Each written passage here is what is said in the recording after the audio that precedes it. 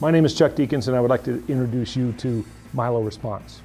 Milo Response is an interactive training system that we specifically designed for EMT, EMS, paramedic personnel. We have scenarios that are designed to test your judgment and your decision-making skills. We have scenarios that involve medical assessment, differential diagnosis, ethical and emotional situations, as well as situational awareness, observation skills, and of course, personal safety.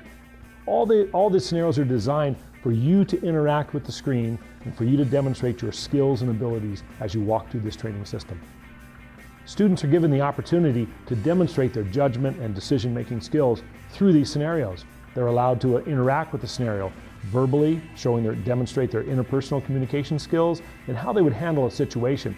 When they do give orders, ask questions, the video has branching that is able to react to those questions feed them more information so they can make a more informed decision. Milo Response gives you the opportunity to train your students in a safe environment, but under conditions that are real world, conditions that are constantly evolving, conditions that are stressful and sometimes even threatening. And yet, in the safety of your training center, you can impart upon them the knowledge and experience that you have as to how to handle these situations and how to work through the situations. That is Milo Response.